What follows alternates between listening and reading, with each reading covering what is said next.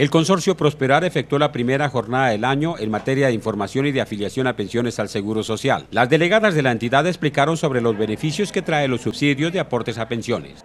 Este programa que está mm, dirigido a todos aquellos independientes que quieran seguir haciendo sus aportes en pensión al Seguro Social, un programa del Ministerio de Trabajo que el consorcio Prosperar administra hace 15 años. A los asistentes a las afiliaciones se les brinda una amplia información sobre lo que significa el acceder al subsidio otorgado por el Estado para continuar con los aportes a pensiones en el Seguro Social. Es una ayuda que les brinda el Estado para aquella persona que no tiene los recursos suficientes para ser cotizante independiente al Seguro Social, para tal vez pagar el aporte directo y, sin ningún tipo de ayuda.